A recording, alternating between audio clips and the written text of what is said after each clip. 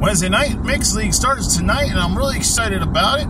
Haven't seen people in here. We have some new teams bowling with us tonight, and it is awesome.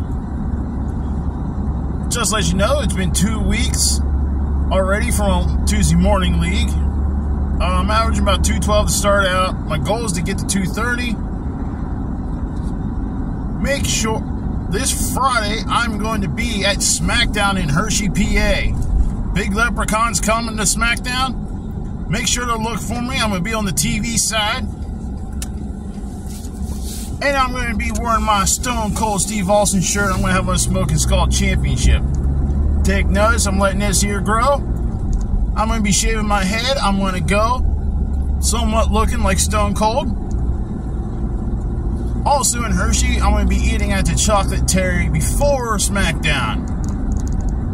Get a little grub in before the, before seeing a great show. Can't wait to see it. It's the Friday before Payback. I'm hoping there's going to be some great pump promos going on, especially between LA Knight and The Miz. Uh, Raquel Rodriguez and Rhea Ripley, which I'm rooting for Raquel to win the women's title. Rhea Ripley needs to lose it because she hasn't defended it in a while, and most of her defenses were bullshit.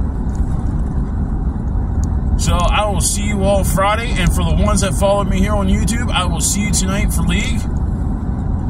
And just remember one thing follow the buzzards, or if you see me again, run.